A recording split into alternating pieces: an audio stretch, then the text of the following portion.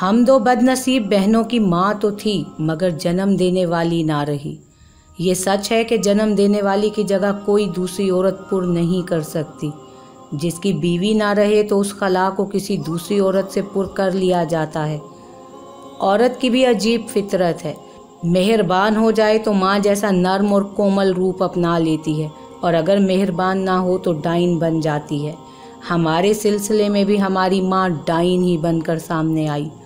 अब्बा ने दूसरी शादी एक मुतलका और उधेड़ उम्र औरत से कर ली तो उस माँ का इस्तकबाल हम दोनों बहनों ने हैरत से किया। अब्बा ने पहले ही समझा दिया था कि तुम्हारी माँ है, इनकी इज़्ज़त करना, माँ का दर्जा देना, वरना घर में परेशानी का अंधेरा फैल जाएगा। जिस कदर प्यार से अपनी औलाद को कोई समझा सकता है, अब्बा ने हमें भी समझा दिया। हमारे कच्चे जहन थे, हम बच्चे थे। बच्चों को जिधर मोड़ो, मुड़ जाते हैं। माँ आ गई तो हमने खुश होकर उनके कदम लिए।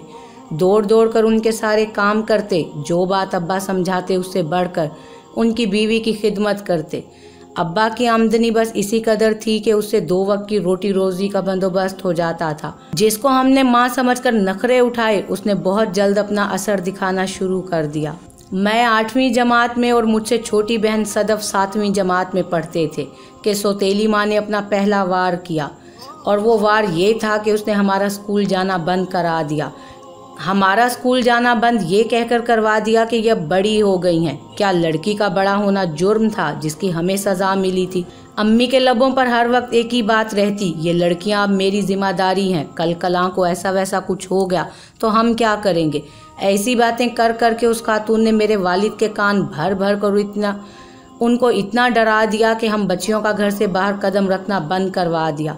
उनको यकीन हो गया था कि इन लड़कियों का बाहर निकलना घर में कयामत लाएगा। अब्बा जान को यकीन हो गया था कि हम लड़कियों का घर से बाहर निकलना घर में कयामत ही लाएगा। लड़कियों की तालीम से ज़्यादा एक गरीब आदमी की इज़्ज़त और नामूस होती है। मगर अम्मी का मकसद ये था कि घर का सारा काम हम दोनों को सौंप दिया जाए और वो आराम से चारपाई पर बैठकर हमारी निगरानी करें। हम दोनों बहनें सुबह से रात तक घर के काम में लगी रहती थी। वो हिदायत जारी करती हुई लंबी तान कर सो जाती, मगर अम्मी बज़ाहिर हमसे प्यार से मुखातिब होती थी। तो कभी किसी बात पर हम लड़ रही होती तो उनसे जाकर एक दूसरे की शिकायत भी कर देती। वो खूब जानती थी कि इन दो ना नासमझों को आपस में दुख सुख बांटने का सलीका ही नहीं है, और हमारा उनके सिवा कोई हमदर्द ना था जो हमें समझाता। हम लड़कर अलग बैठकर रोती और वो हमारी लड़ाई से फ़ायदा उठाते हुए एक बहन की चुगली दूसरे से कर देती। उनकी बातों में आकर हम दोनों बहनों ने ही अपने आप को एक दूसरे का दुश्मन समझना शुरू कर दिया। स्कूल छूटा तो मेरा बुरा हाल हो गया था। मैं हर वक्त मायूस रहने लगी। स्कूल की सहेलियाँ और पुरौनक माहौल याद आता। हम जमातें छूट गईं तो मैं शदीद तन्हाई का शिकार हो गई। हर वक्त सोचती रहती कि लड़की होना जुर्म है क्या? किस कसूर की सज़ा मिली है जो मुझे पढ़ने नहीं दिया जाता? अट्ठारह साल की हुई तो अम्मी ने रट लगा दी कि फ़रहा बड़ी हो गई है, अब इसे इसके घर का कर देना चाहिए। गर्ज के उन्होंने मेरे वालिद के कान खा लिए। कुछ दिनों बाद अब्बा ने खुशखबरी सुनाई कि कल रात को फराह को देखने मेरे दोस्त की बीवी और उसके घर वाले आ रहे हैं। उनकी अच्छी तरह खिदमत, मदारत करना अगले रोज़ तीन खवतिन आई। मुझमें बहुत दिलचस्पी ली और पसंदीदगी का इजहार किया। अब्बा ने बताया, लड़के का बाप ट्रक ड्राइवर था और उन्हीं के साथ ट्रक चलाया करता था। लड़का ड्राइविंग करता है। अब इनका अपना कारोबार है और ये लोग बहुत खुशहाल हो गए हैं। मैं चाहता हूँ कि फ़रह का रिश्ता यहाँ हो जाए, ताकि ये मुझे भी अपने कारोबार में शरीक कर लें और फिर हमारे भी दिन फिर जाएँ। अगली बार जब वो खातन आई तो अम्मी ने उनकी खूब इज़्ज़त और खातिर मदारत की। मीठी मीठी बातों से उनके दिल मोह लिए। वो लोग रिश्ता पक्का कर गए उनके जाने के बाद अम्मी कहने लगी कि तेरे साथ हमारी भी किस्मत खुल जाएगी। ससुराल जाकर मैके का ख्याल रखना। मैं नादान उनकी बातों का मतलब समझ ही ना सकी। एक माह बाद मेरी शादी का दिन मुकर किया गया। हमारे ज़माने में लड़कियों से कौन पूछे, कौन बताए, ये जहमत कोई नहीं करता था। रिश्ता होने के चंद दिनों बाद मुझे खाली हाथ झटपट ऐसे रुखसत किया गया जैसे बला सर से टाली गई हो।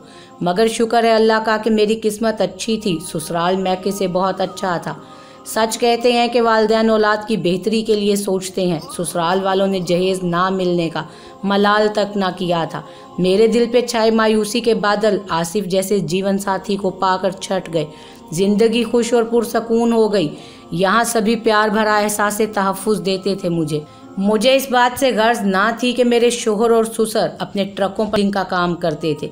वैसे भी हम जैसी घरेलू औरतों को अपने मर्दों के कारोबार से क्या सरोकार? मुझे किसी बात का इल्म था और ना ही मैंने कभी जानने की कोशिश की।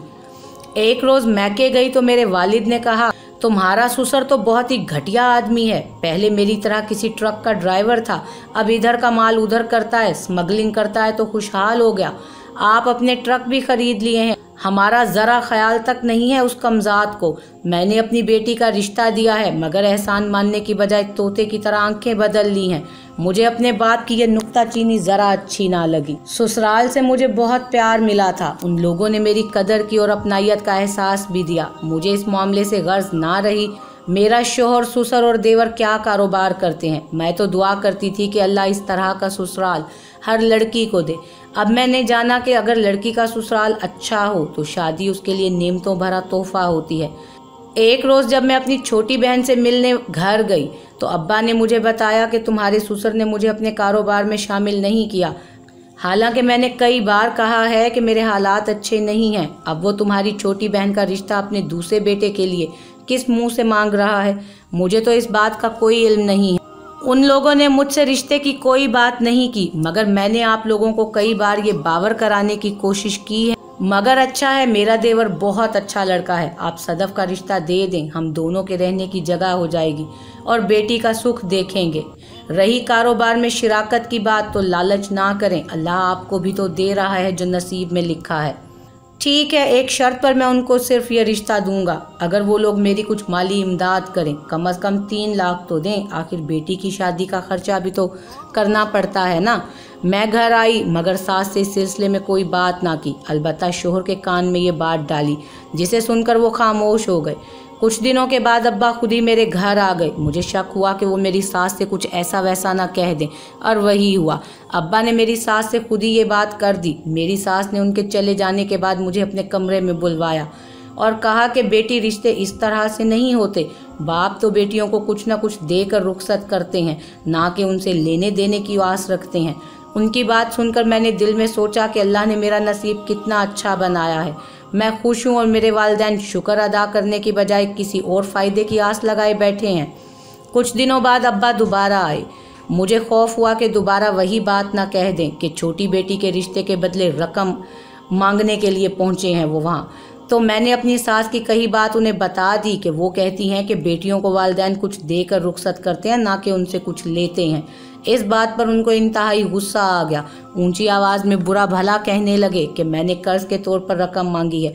ये लोग खुद को समझते क्या हैं? अगर कर्ज कुछ रकम दे दें तो कुछ जाती काम कर लेता और फिर वापस कर देता। मगर कितने नीच और जलील लोग हैं ये। तुम्हारी सास ने बात का बतंगड़ बना लिया है। जब वो ये बात कह रहे थे, उसी वक्त सुसर साहब घर में दाखिल हुए। उनके मुँह से ये अल्फाज सुने तो उन्हें बहुत नागवार गुजरा। कहने लगे कि तुम सरेआम मेरी बीवी को मेरे घर में बैठकर उससे बदतमीजी से बात कर रहे हो। अगर इस वक्त तुम मेरे घर में ना बैठे होते ना तो मैं अपनी शरीक हयात से तुम्हारे तल्ख लहजे में ऊँचा बोलने पर तुम्हें अच्छी तरह मज़ा चखा देता। तुम्हें क्या हक पहुँचता है कि मेरी छत तले मेरी शरीक हयात से ऊँचा बोलो या बदतमीज़ी करो? अब्बा को भी तैश आ गया, कहा कि यहाँ सिर्फ़ तेरी औरत ही नहीं, बसती मेरी बेटी भी यहाँ रहती है। मैं तुम्हारी बीवी से नहीं, अपनी बेटी से बात कर रहा था। और अब मैं अपनी बेटी को अपने घर ले जा रहा हूँ। जिस घर में मेरी इज़्ज़त नहीं, वहाँ मेरी बेटी भी नहीं रहेगी। अब्बा ने मेरा बाजू पकड़ कर कहा कि उठो और मेरे साथ चलो। मैं तुम्हें इन जाहिल लोगों के दरमियान छोड़कर नहीं जा सकता। अभी ये सब बात चल रही थी कि मेरा शोहर आसिफ घर में दाखिल हुआ। पूछने लगा, क्या बात है? आप लोगों की आवाज़ें बाहर गली तक आ रही हैं। मामला क्या है? मेरे ससुर ने बताया कि तुम्हारी बीवी का बाप हमारे घर आकर तुम्हारी माँ के साथ बदतमीजी से बात कर रहा था और अब फरहा को भी ले जा रहा है। मेरे शोर ने मुझे बाजू से पकड़ लिया और कहा कि फरहा, तुम हरगिज़ अपने बाप के साथ, अपने मैके नहीं जाओगी। अगर चली गई तो याद रखना, हम तुम्हें लेने नहीं आएँगे। अब मैं दरमियान में पिस कर परेशान थी। एक तरफ़ बाप तो दूसरी तरफ़ मेरी ज़िंदगी का साथी। अल्लाह ऐसी घड़ी कभी किसी औरत पर ना लाए। उन दिनों मैं उम्मीद से थी। सोचा कि मैं बाप के बगैर तो जी सकती हूँ, मगर इन हालात में घर से कदम निकालना दुरुस्त ना होगा कि मेरे साथ एक और ज़िंदगी का भी सवाल था। मैंने दिल में ठान ली कि बाबा नाराज़ होते हैं तो होते रहें, मगर मैं अपना घर नहीं छोड़ूँगी, जबकि ससुराल वालों से मुझे कोई शिकायत भी ना थी, बल्कि आसिफ ने तो ज़िंदगी का हर सुख मुझे दिया था। जबकि मुझको औलाद की सूरत में इतनी खुशी मिलने वाली थी, मैं अपना घर छोड़कर कैसे जा सकती थी? मैंने कह दिया कि मैं आपके साथ नहीं जा सकती, मुझे अपने घर में बसने दे। अब्बा बोले कि अगर आज तुमने मेरी इज़्ज़त ना रखी तो मैं समझ लूँगा कि तुम मेरे लिए मर चुकी हो। अब उसका दिल बैठ गया। मेरे दिल की कैफियत को आसिफ ने भी दिल की गहराइयों से समझा और अपने कमरे में ले जाकर बोले तुमने मेरे लिए ये दुख उठाया है। फ़िक्र ना करो। अब्बा जी का गुस्सा ठंडा होने दो। मैं खुद तुम्हारे वालिद के पास ले जाऊँगा तुम्हें। हम उनसे माफ़ी मांग लेंगे। और जो रकम उनको ज़रूरत है, मैं खुद अपनी जेब से, अपने अब्बा से चोरी छुपे उनको दे दूँगा। शायद उनको अशद ज़रूरत है, इसीलिए मजबूरन वो हमारे घर पर आए हैं। मगर ये बात मैं अभी अपने अब्बा को नहीं समझा सकता। एक माह बाद आसिफ ने अब्बा को बना लिया और उन्हें उनकी मतलूबा रकम भी दे दी। मैं मैके गई, अब्बा से माफ़ी मांगी और वो मान गए। घर जाने का वक्त हुआ तो अब्बा आसिफ से कहने लगे, कुछ दिनों के लिए फरहा को हमारे घर ही छोड़ दो। अम्मी भी बार बार इसरार करने लगी कि मैं और सदफ इसका ख्याल रखेंगे। अभी बच्चा पैदा होने में दो माह बाकी थे, मगर अम्मी की ज़िद पर आसिफ मुझे मैके छोड़कर वापस चले गए। अभी पंद्रह दिन ही गुजरे थे कि मेरी तबीयत ख़राब हो गई। बच्चा कबल वक्त दुनिया में आ गया। अल्लाह ने बेटा दिया था। मैं बहुत खुश थी कि मेरे वालदेन ने आसिफ को और उनके घर वालों को इस खुशखबरी से आगाह कर दिया होगा। लेकिन जब ससुराल से कोई ना आया तो मुझे शक हुआ कि शायद उन्हें अभी तक ये खबर नहीं पहुँची। मेरे ससुराल वालों को अगर पता होता तो वो ज़रूर अब तक आ चुके होते। मैंने दाई अम्मा से कहा, अम्मा रजिया, एक काम करो, ज़रा मेरे ससुराल जाकर पता तो लेकर आओ। पोते की पैदाइश का सुनकर वो लोग आए क्यों नहीं? उसने जवाब दिया कि तुम्हारी माँ को इल्म हो गया तो वो मुझसे नाराज़ हो जाएगी। सब्र से काम लो, दो चार दिन इंतज़ार कर लो। इस दौरान नहीं आए तो मैं चली जाऊँगी। हम ये बातें कर ही रहे थे कि किसी तरह मेरी सोतेली माँ ने ये सारी बातें सुन ली।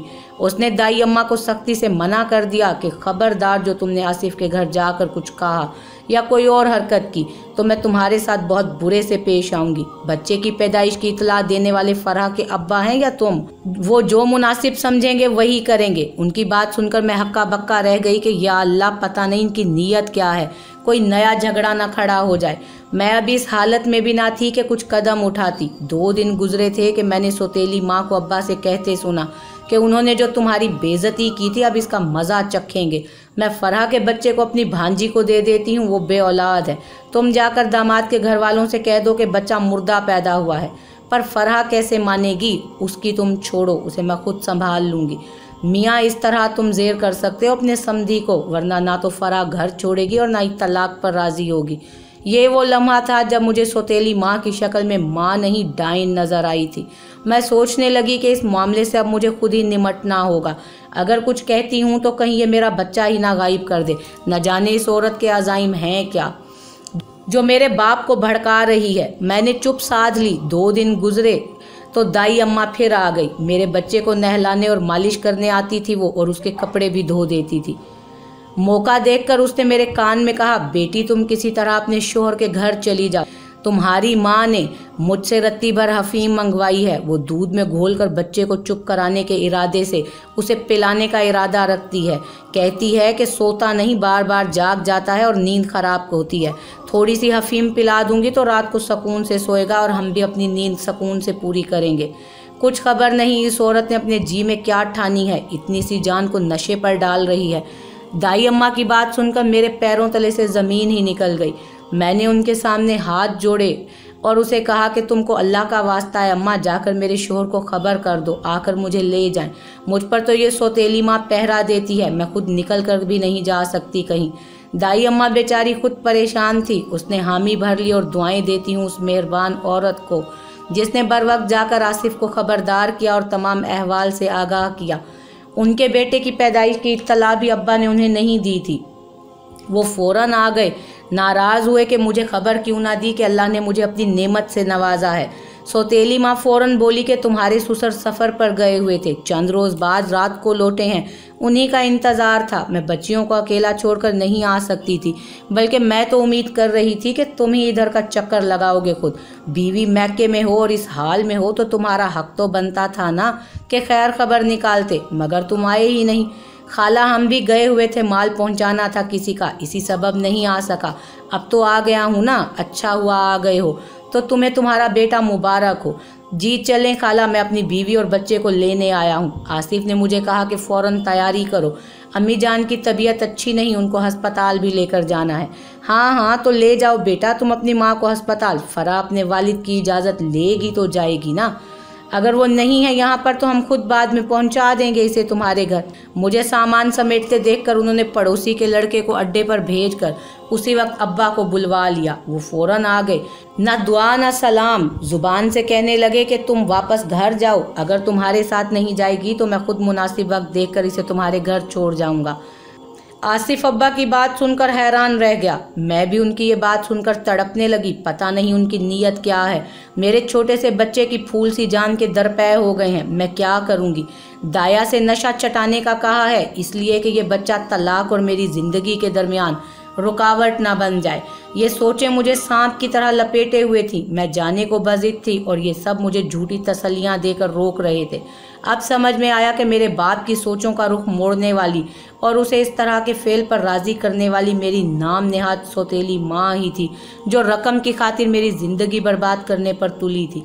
हालाँकि मेरे शोर ने खुद से तीन लाख रुपए भी मेरे वालिद को दिए थे। सुसर साहब ने अपने कारोबारी राजों में मेरे वालिद को शरीक ना किया। इसी बात का गुस्सा था उन्हें। आसिफ ने अब्बा के बदले हुए तेवर देखकर समझदारी से काम लिया और कहा कि वो कुछ दिनों तक मुझे लेने आ जाएगा। तब तक मेरी अम्मी की तबीयत भी संभल जाएगी। आप खफा ना हो। आपकी इजाज़त के बगैर मैं आपकी बेटी और नवासे को कैसे ले जा सकता हूँ? इस बात पर अब्बा थोड़ा शांत हुए और बीवी से बोले कि आसिफ अच्छा लड़का है। मेरा इसके साथ कोई झगड़ा नहीं। इनको खाना वगैरह खिलाए बगैर मत जाने देना। मैं अड्डे पर जा रहा हूँ, अभी वापस आता हूँ। अगर कोई बात हो तो फ़ोन कर लेना मुझे। अब्बा चले गए तो आसिफ ने मुझे सरगोशी से कहा, तुम कल तैयार रहना। मैं कार लेकर गली में आऊँगा, हॉर्न दूँगा, तुम बच्चे को उठाकर फ़ौरन बाहर निकल आना। मैं रात भर सो ना सकी, मगर मेरा मासूम बच्चा सोता रहा। जो कि सोतेली माँ ने ज़रूर उसको हल्का सा नशा दिया था। एक बार भी मेरा बच्चा नहीं उठा। मैं सारी रात उसका सांस देखती रही और दुआ करती रही कि, यार, अब आज की रात खैरियत से गुजर जाए। सुबह हुई तो भी मेरा बच्चा ना जागा और ना ही उसने दूध पिया। मेरा तो ऐसा हाल था कि जीती थी ना मरती थी। अल्लाह अल्लाह करके शाम चार बजे सदफ को मैंने सिखा दिया कि हॉर्न की आवाज़ सुनते ही दरवाजे की कुंडी खोल दे और मेरे घर से निकलने में उसने मेरी मदद भी और माँ के कमरे का दरवाज़ा भी बंद कर दिया। माँ को दोपहर का खाना खाने के बाद अपने कमरे में लेटने की आदत थी। शाम छः बजे तक वो सोती रहती थी। उस वक्त के बीच में मैं बच्चे को उठाकर कमरे से निकली और गाड़ी में आ बैठी। इस दौरान मेरा बच्चा थोड़ा सा कसमस आया तो मैंने अल्लाह का शुक्र अदा किया। उसे लेकर मैं अपने घर आ गई। अपने शोहर के साथ ससुराल में दाखिल हुई तो रब का शुक्र अदा किया। दिल में तय कर लिया था कि दोबारा कभी मैके नहीं जाऊँगी। वो दिन और आज का दिन बीस बरस गुजर गए। मैंने उनके घर में दोबारा कदम नहीं रखा। उन्होंने सदफ की शादी अपने अजीज़ों में कर दी थी। उसका शोहर भी ड्राइवर था। बहुत खुशहाल नहीं है। बस रोज़ी रोटी पूरी होती है। अब्बा की वफ़ात के बाद सोतेली माँ अपने मैके चली गई और कभी लौट कर नहीं आई। अपनी ज़िंदगी में अब्बा एक बार मुझे मनाने आए थे। लेकिन मैंने उनके घर जाने से मना कर दिया था तो फिर कभी नहीं आए। आज भी मुझे इस बात का मलाल है कि अब्बा की बात मान लेती। मगर अब ये दुख मेरे दिल का ज़ख्म बन गया है। वालदेन तो औलाद के लिए साया होते हैं। लेकिन कुछ बच्चे ही शायद बदकिस्मत होते हैं कि हालात के हाथों मजबूर होकर ये साया अपने हाथों से खो देते हैं। लेकिन जब वालदेन लालच में जगह बना लें तो नेमतों के सायादार शजर सूख जाते हैं। अल्लाह ताला सब बेटियों के सरों पर उनके वालदेन का साया सलामत रखे। आमीन।